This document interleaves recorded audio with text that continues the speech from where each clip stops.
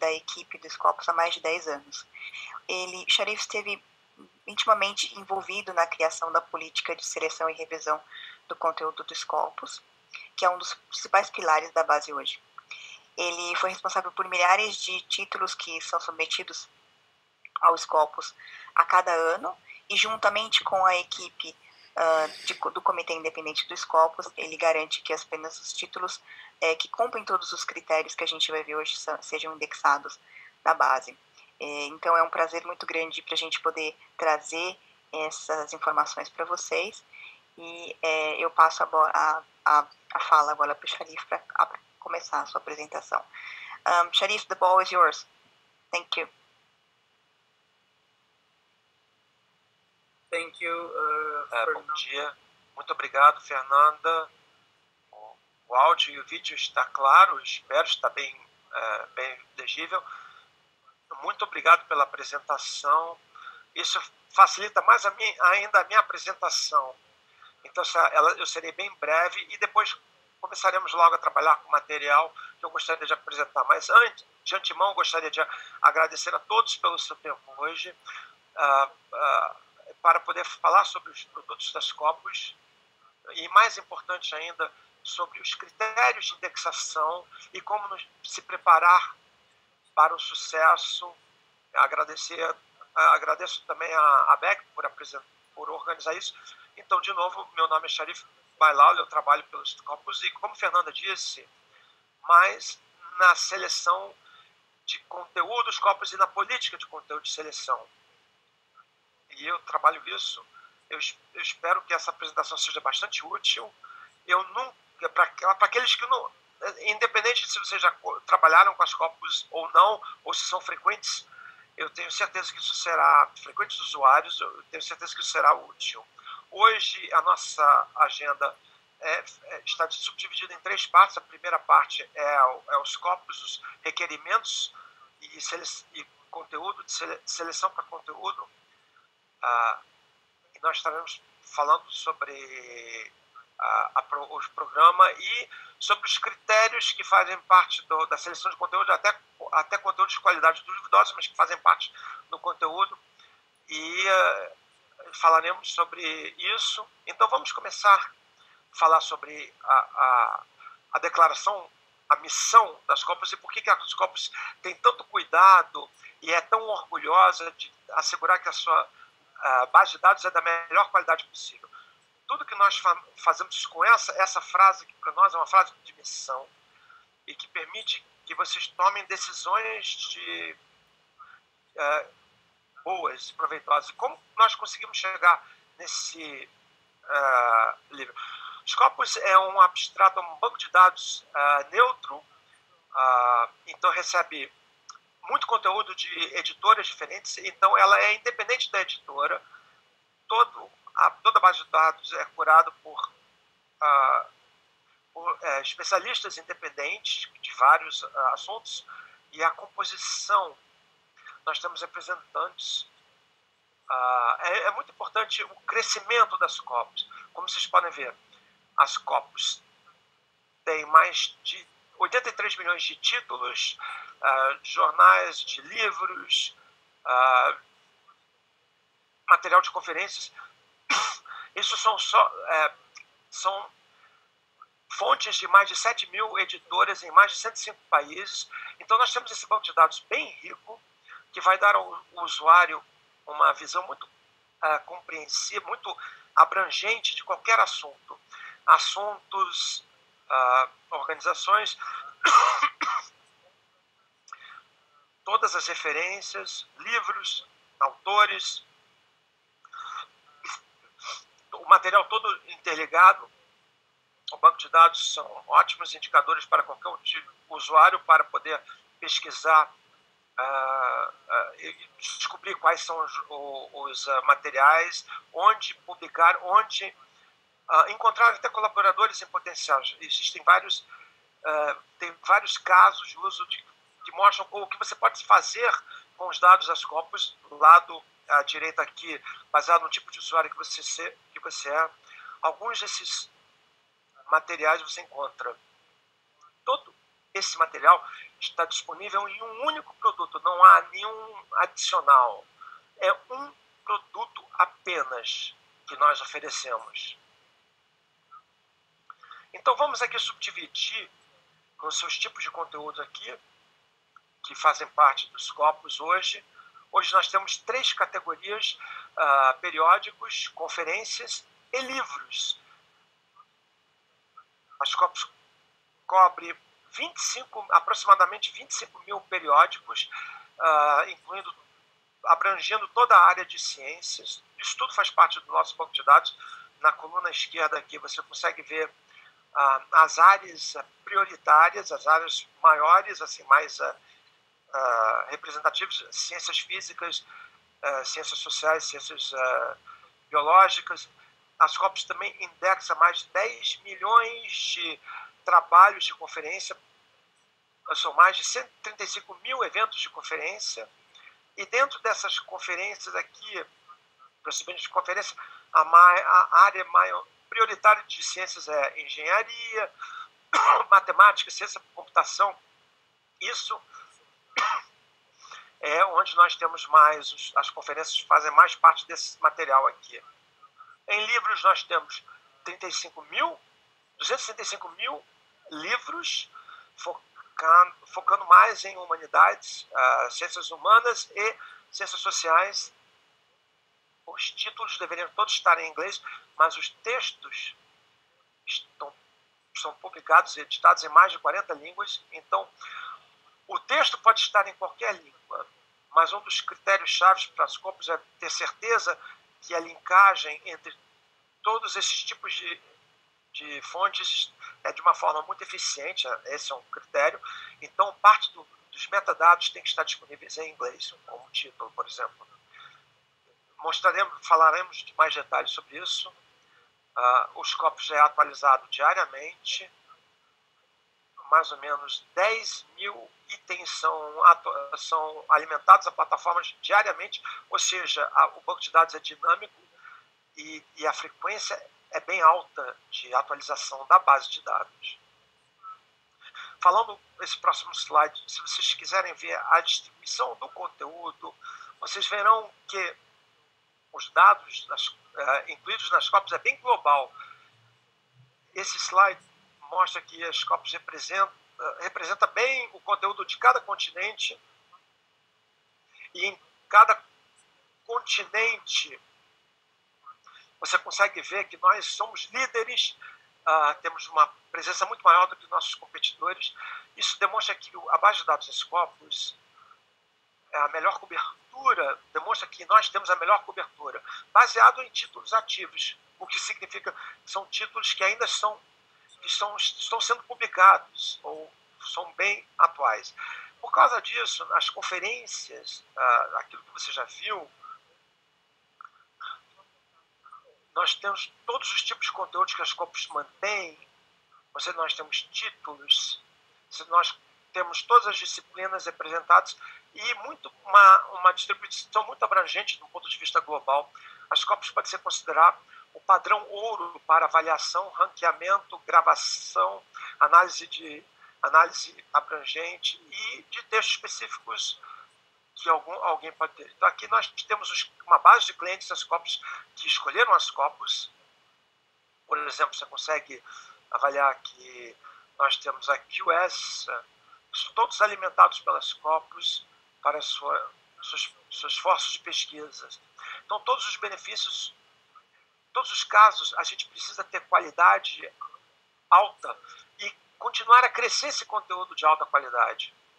Então, o núcleo da nossa apresentação é como que os títulos são selecionados para o indexamento pelas Scopus. Esse é a base da nossa discussão. Todos os títulos são selecionados por um, um, um comitê de seleção de conteúdo independente que assegura uh, nós que é o CSAB. Esse comitê é representado pela sigla CSAB que são especialistas no mundo inteiro, são independentes e são escolhidos pelo seu conhecimento em determinadas áreas. E muitos desses senhores ou senhoras já tiveram várias, uma grande experiência de, de, de edição, de publicar. Então, essa é uma fotografia do nosso, do nosso, da, da nossa última reunião em 2019, a reunião presencial. O, o comitê costumava se reunir duas vezes por ano para discursar, para, para falar sobre a situação e como continuamente continuar melhorar a política de seleção de conteúdo. Mas esse grupo, ah, mesmo durante a pandemia, continua se encontrando duas vezes por ano virtualmente ah, e continuamos com esse trabalho. Agora que nós sabemos o grupo de pessoas, agora que sabemos qual é o grupo de pessoas responsável por selecionar pelo critério de seleção, eu gostaria de explicar um pouco mais quais são os requerimentos em mais detalhe. Fernanda já mencionou que as Copos recebe, tem recebido títulos, ah, ah, pedidos de submissão entre são, são milhões de títulos por ano, a primeira coisa que nós fazemos é checar se, quando, quando um título é apresentado, se, isso, se ele está em, se ele atende aos nossos critérios mínimos. Nós temos é, estamos falando de não estamos ainda uh, não estamos checando a qualidade a gente está focado em saber se aquela publicação uh, está em atendimento com critérios básicos ou, e, ou se o resumo em inglês, o terceiro requerimento é ser uma publicação publicada é, regularmente e se tem um, uma declaração de ética, um que eu não que, que a gente pulou é, é essa referência de, uh, de Romano, que até ano passado ainda era obrigatório, esses Roman Script References, mas devido às melhorias que as COPs conseguiu, uh, atingir, a gente, mesmo se não tem essas referências em escrito romano, a alfabeto romano, uh, mesmo se for em cirílico, a gente nós conseguiremos processar as referências para poder linkar efetivamente, uma vez que se encontra no banco de dados.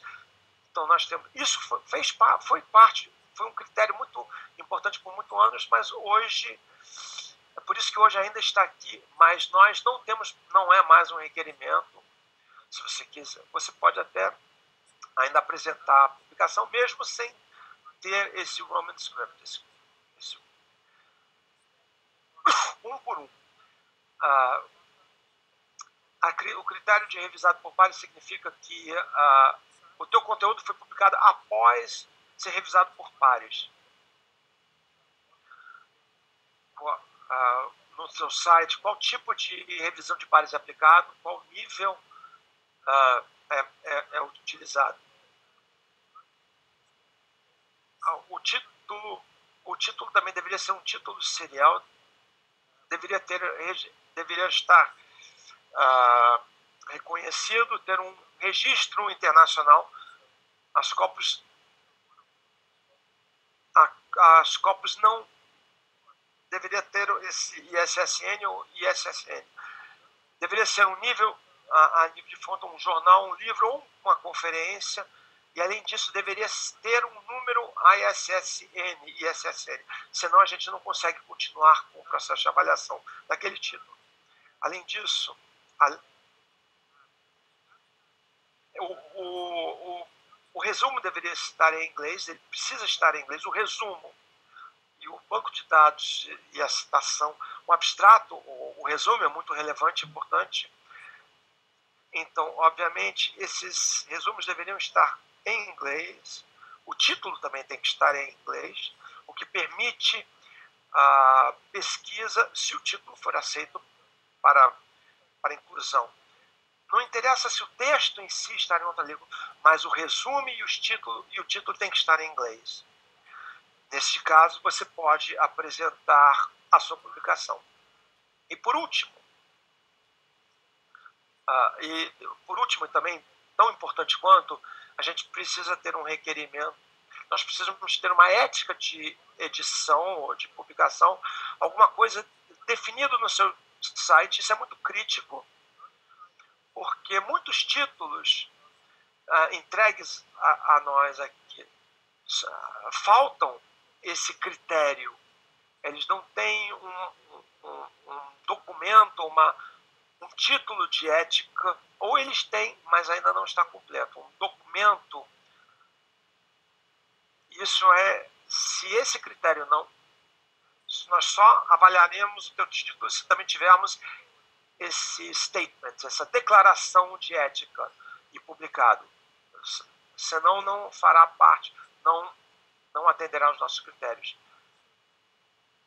Então, é importante você ter isso porque uh, deserve, é, é importante e também é crítico. Por último, nosso último critério, eu gostaria de uh, que eu gostaria de frisar é que se o título é novo, se o, se o periódico é novo, e você obviamente quer visibilidade, qual seria o passo, próximo passo, próximo passo, uh, se você quiser apresentar as Copos, as Copos sugere que esses periódicos tenham uma publicação, uma, um histórico de pelo menos dois anos. O periódico tem que estar publicando copos. Se esse critério não, uh, é, não está lá, vocês não provavelmente estarão, digamos assim, aptos a ser considerados pelas copos. Se esses periódicos atendem, se vocês não tiverem adesão a todos esses critérios, a Scopus notificará vocês uh, o, se vocês tiverem feito as alterações, vocês podem de novo apresentar e nós de novo verificaremos se nós tivermos visto que está tudo completo, está tudo, no, está tudo é, de acordo, procederemos com avaliação. Então, isso aqui é um passo de validação que nós fazemos para todos os periódicos ou material que recebemos retornando, retornando aos requerimentos mencionados, frisados, esses títulos aqui uh, que não são considerados aplicáveis para as copos, você, nós precisamos ter uma, um, um, um documento de ética que é muito válido especialmente no nosso dia de hoje, hoje, os periódicos estão digitalmente são bem representados e as suas políticas não precisam estar a par. Nós temos 16 pontos que nós cobrimos aqui, ah, que são a, que as Copos avalia, e que são princípios que as Copos avalia, e vocês conseguirão ah, ver isso online. Isso é continuamente atualizado, mas a noção interesse educar o periódico, o periódico em como ter um documento ético publicado e nós adotamos um conjunto de declarações, são 16, aqui nós temos oito, por exemplo, um periódico deveria ter uma política clara uh, em, por exemplo, em pagamento aos autores, deveriam, deveria ser publicado no homepage, na website, qual é a política referente a isso. É, direitos autorais, licenciamento, também deveria ser bem transparente. A equipe, o contato de informação, informação de contato, de como, de como entrar em contato, isso também deveria fazer parte da declaração ética. A maior parte dessas políticas trata mais de transparência. Se um desses assuntos não for aplicável a um determinado periódico, você pode simplesmente mencionar isso. Não há, não há, por exemplo, mencionar que não há, não é aplicável no nosso caso, porque, por exemplo, uh, marketing, o, o, periódico não faz parte, não, não, não faz marketing, você pode simplesmente mencionar isso. Do ponto de vista ideal, nós gostamos de procurar os periódicos que mencionam todos esses 16 critérios. Aqui, aqui ah, que nós temos esses títulos aqui, vocês têm que ter isso no website, por exemplo. Por exemplo, ah, vocês podem ver aqui do terceiro de cima para baixo, o processo de revisão de pares, o periódico também oferecer, tem que também oferecer uma transparência.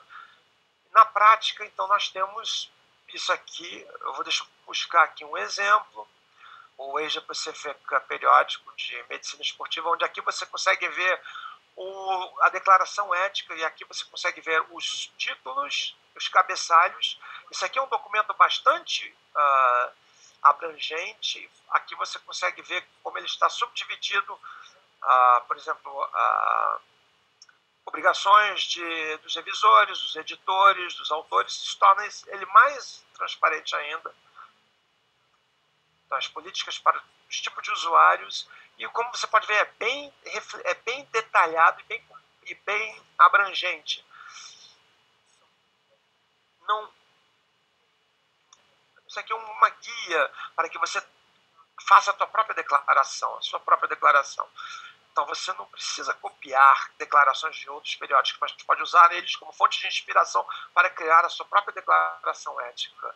Então para isso, não é ótimo, isso aqui pode servir como uma fonte de inspiração, sem problemas nenhum.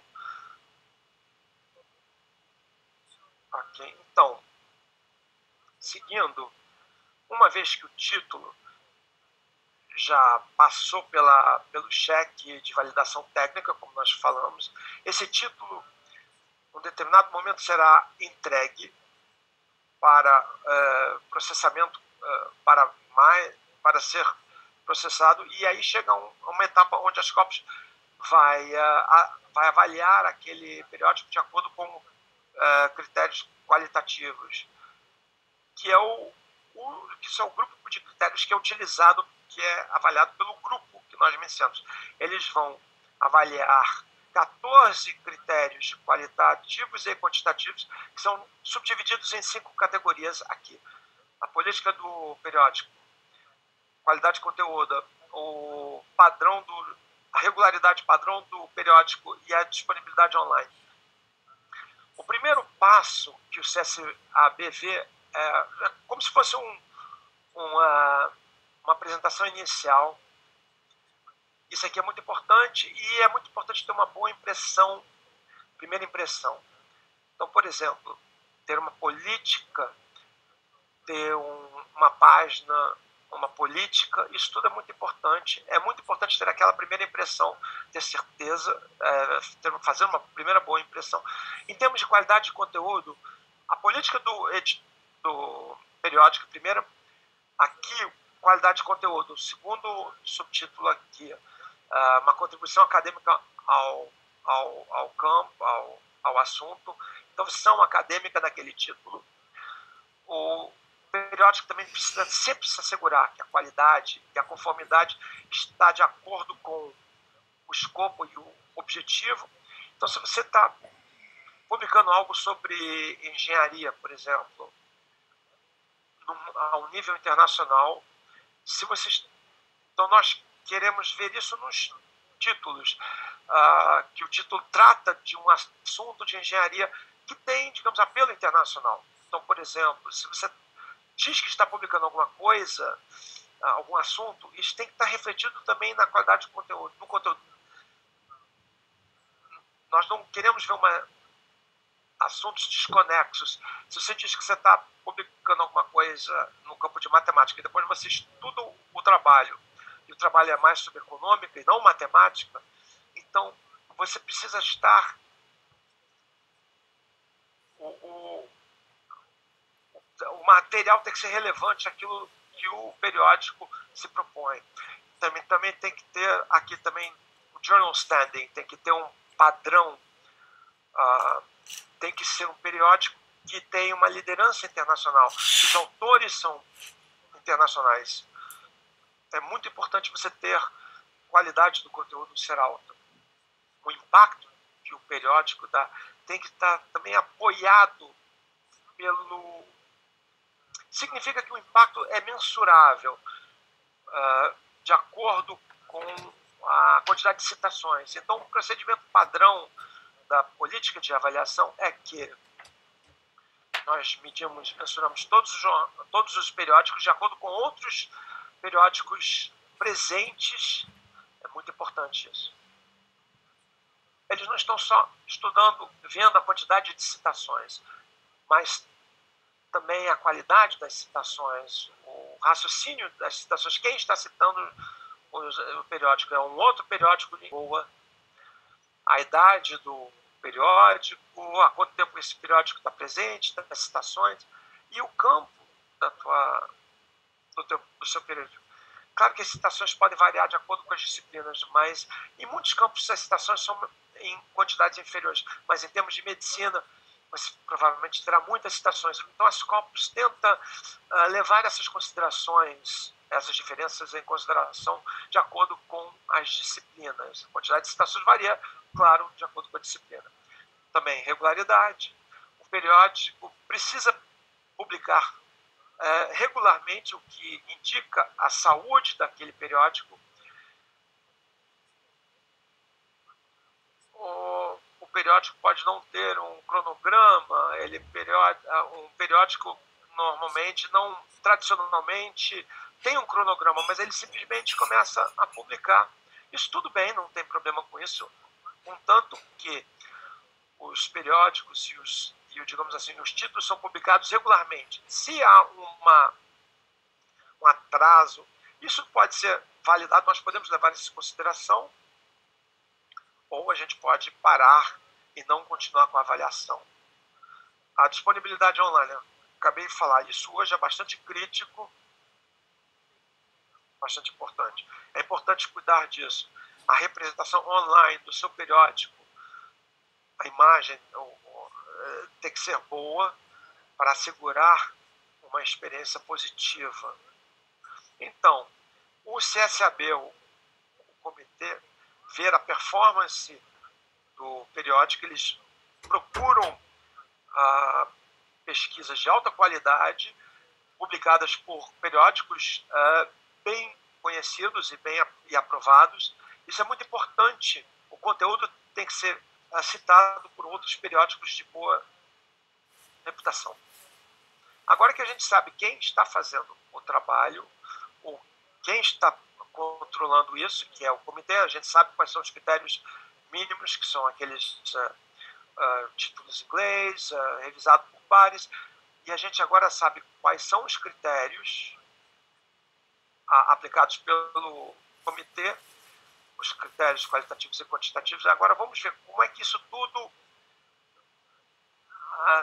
faz parte desse. Como é que isso tudo é incorporado nesse cronograma? A gente tem aqui formulário de online de apresentação isso vai para apreciação. Qualquer um pode apresentar o título aqui do lado esquerdo, pode ser um editor, pode ser um editor-chefe, pode ser um membro do, do comitê editorial daquele, daquela, daquele periódico. Isso começa assim. E o procedimento tem cinco etapas principais: validação e enriquecimento, uma, e isso leva à decisão do comitê. Vocês me ouviram mencionar antes que a Scopus recebe 4 mil títulos por ano, a, a, a priori. Então, muito interessante ver quantos títulos acabam sendo aceitos e inclusos no banco de dados da Scopus.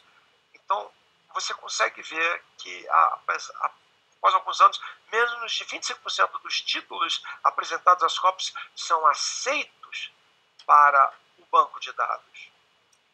O primeiro critério mínimo, a primeira verificação mínima que reduz a quantidade de títulos, a primeira validação reduz em 50% os títulos. Ou seja, 50% dos títulos não, tem, não atendem aos critérios mínimos, uma grande quantidade de títulos que as Scopus já elimina. E dos 50% que atende aos critérios mínimos, como eu mencionei antes, a aceitação é 50% disso, ou menos, inclusive. Então você começa com 100%, 100% e termina com menos de 25% sendo aceito ao banco de dados das Scopus. Então, antes, eu, eu, eu fiz isso antes da nossa reunião, eu gostaria de mostrar quantos títulos são apresentados às Scopus anualmente. Aqui você tem, em alguns anos, você tem alguns picos aqui, alguns uh, altos. Em geral, nós temos uma média de 1.300, uns 100 títulos uh, apresentados por fontes brasileiras na média. Então, se você segue a matemática, a gente tem uns 25 títulos aceitar, aceitos de fontes brasileiras ou títulos brasileiros. Se você compara isso a outros países que nós avaliamos, aqui são os, os 25 países que mais apresentam ou que têm mais títulos uh, entregues às Copos. Aqui você consegue ver que o Brasil é ranqueado mais ou menos no meio aqui. Um título, uma quantidade razoável de títulos, uma quantidade de títulos, uma boa quantidade de títulos entregue, mas um, uma taxa de aceitação mais baixa ainda do que outros. Então a aceitação global é mais ou menos uh, ah, 50%, como eu mencionei. Se você vê o caso do Brasil aqui, o, a, aqui a gente aceita 36% dos títulos brasileiros, uma média de títulos aqui, alguns títulos que são de baixa qualidade, que as métricas mostram que esses títulos não, são, não têm uma boa performance, ou de ah, periódicos predatórios, assim, por assim dizer, que são uma ameaça à ciência que não deveriam estar dentro das copos. Como é que a gente consegue descobrir esses uh, periódicos? Então, esses são os dois tipos de periódicos que nós uh, consideramos. Então, como é que a gente como é que a gente ah, considera isso? A gente monitora continuamente o banco de dados, a gente uh, estuda como desenvolver novas abordagens uh, para, para avaliar no banco de dados e tentar excluir isso. É um procedimento muito uh, demorado, que a gente tem que validar essas preocupações e, e essas evidências. A gente precisa ter evidências que provam que a integridade ou qualidade daquele periódico está sendo prejudicada, a qualidade está sendo prejudicada, e essas preocupações que nós temos também precisam ser compartilhados com o comitê. Então, quando eles vão avaliar o periódico, eles podem levar aquelas considerações, pensar sobre aquelas considerações. Então, esse é o procedimento que eu estou mostrando em como lidar uh, com conteúdos copos. E se, a, se os copos decidir excluir um periódico, não aquele é um procedimento complexo, isso de uma forma acidental, que isso é uma coisa bem pensada, porque a, a, se torna um, um procedimento muito complexo para não excluir por acidente um periódico uh, que deveria estar sendo excluído. Então, aqui são os critérios que a gente segue para ter certeza que o, alguns critérios para avaliar se o título ou se o periódico deveria continuar. Então, o primeiro deles é preocupações com a edição dele. A gente vai estudar isso e se, e se essas preocupações nossas forem válidas, bem aí o comitê vai avaliar isso. A segunda categoria utilizada para buscar esses periódicos é ter certeza a gente pode usar uh, indicadores ou benchmarks ah, como o impacto da citação. A gente precisa tentar entender qual é o comportamento daquele periódico. Isso pode ser classificado como um periódico que tem uma performance abaixo do normal. Então a gente, os Scopus vai dar um olhar, nós estaremos avaliando os periódicos que têm uma performance inferior dentro daquela categoria. E a gente pode também usar uma ferramenta de uh, machine learning, de aprendizado à máquina, que nós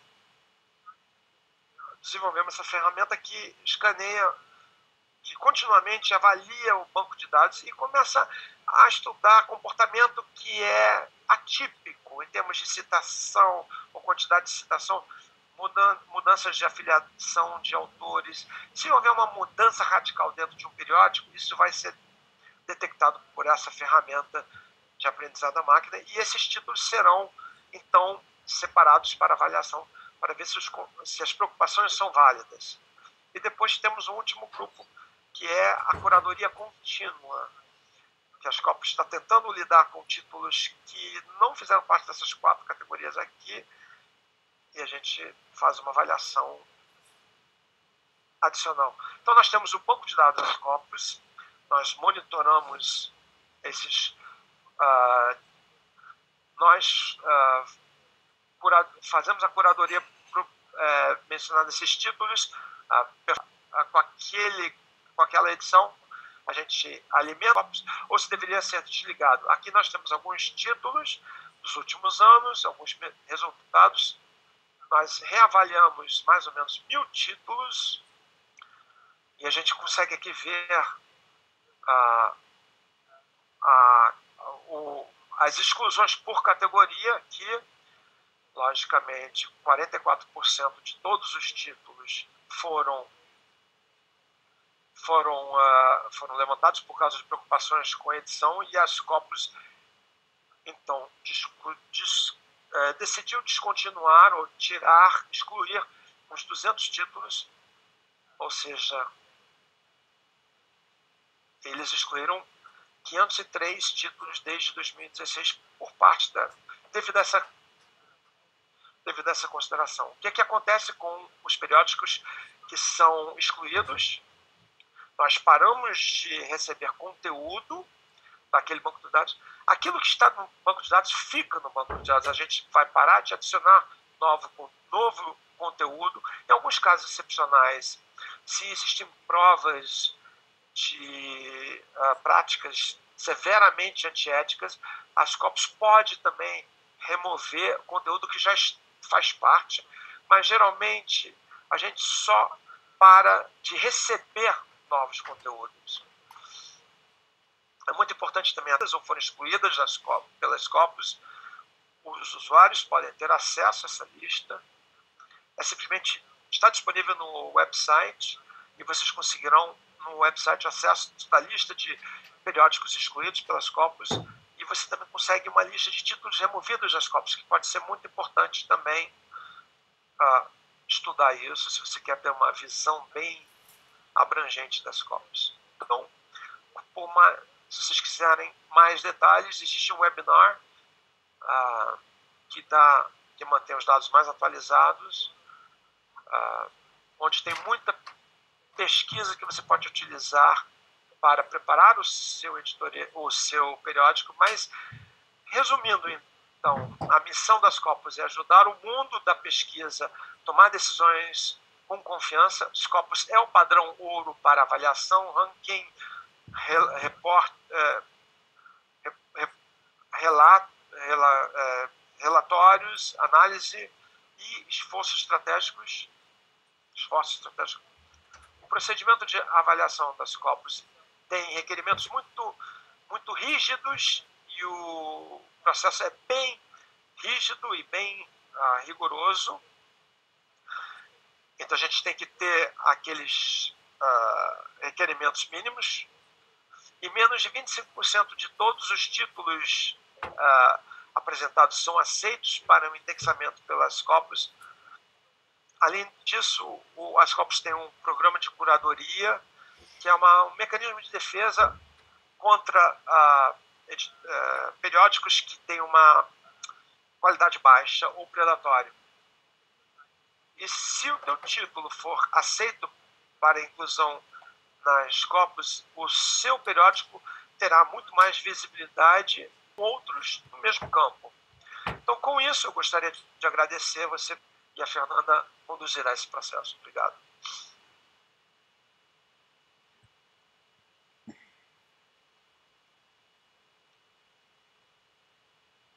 Thank you. Obrigada, Sharif, pela sua apresentação. Foi muito esclarecedora. Hum. Hilda, você quer uh, passar as perguntas ou eu faço isso? É, você vai passar a enquete, não vai? Ah, verdade, desculpa. Roberto, eu esqueci. Você pode. A gente vai fazer uma rápida enquete, então, com. com vamos liberar uma rápida enquete para os participantes, enquanto vocês submetem mais uh, perguntas. E depois já passamos para as respostas às perguntas que já foram enviadas. Se tiverem mais dúvidas, fiquem à vontade para enviarem suas perguntas pelo chat. Em um momento a gente vai lançar uma enquete com três perguntas rápidas para entendermos melhor um, se existem mais dúvidas e temas que vocês gostariam de conhecer. Roberto, você nos ajuda com a enquete? Você coloca aí, por favor, para os participantes responderem.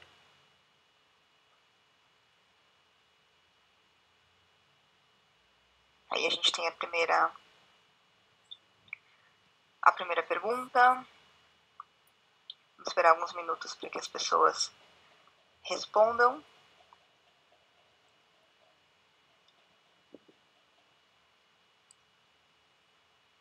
Muito bom ver a participação de tanta, de tanta gente no webinar. Obrigada, pessoal, pela presença de vocês. Obrigada pela participação. A gente fica feliz de saber que tem interesse no tema e Obrigada, Roberto. Podemos passar para a segunda pergunta?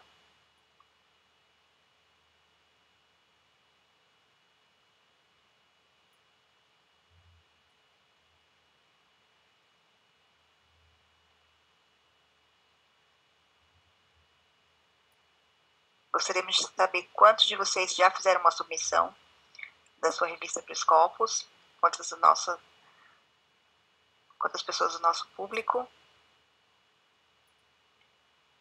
Parece que a maioria não fez ainda uma, uma submissão.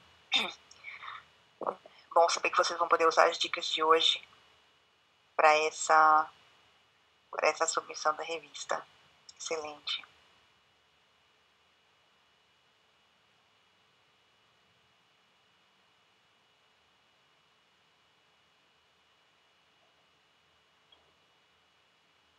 Perfeito. Terceira pergunta, por favor, Roberto.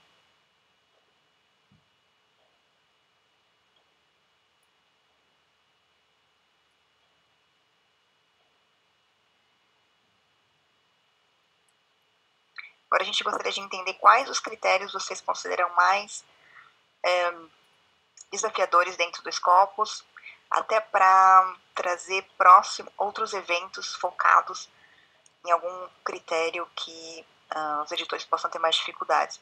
Falamos bastante sobre a declaração de ética e más práticas hoje, porque, como o Sharif comentou, é um dos critérios que mais elimina uh, as revistas né, na aplicação dos Scopus mas nós gostaríamos de entender se existem outros que geram dúvidas para poder trazer mais conteúdo mais direcionado para vocês. Muito obrigada pela participação de vocês nessa enquete. É extremamente, extremamente rica a informação que a gente coleta aqui para conseguir depois trazer mais. Está com uma taxa de respostas bastante interessantes. É, para ficarmos no horário, eu vou passar para as perguntas então.